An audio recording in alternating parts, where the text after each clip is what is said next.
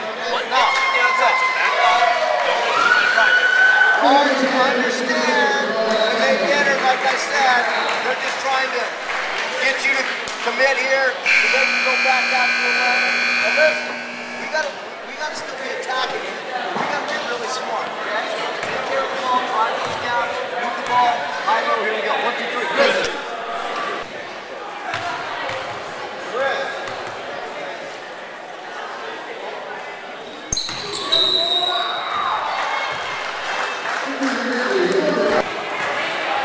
About how well your defense played tonight.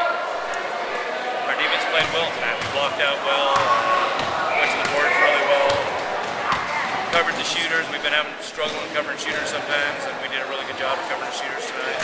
Didn't let them in on the ball inside much. We did a good job.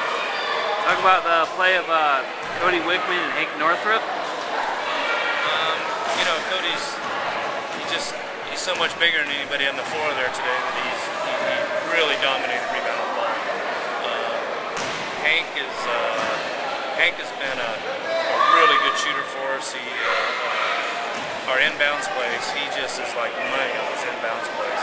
At the free throw line, uh, he's been really done really well. And how big is uh, this week's game against Turlock Christian?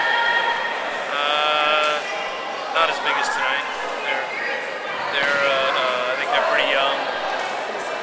They're probably one of the teams that are going to struggle in the leagues. Big games coming up against LeGrand and Waterford. Uh, they're both going to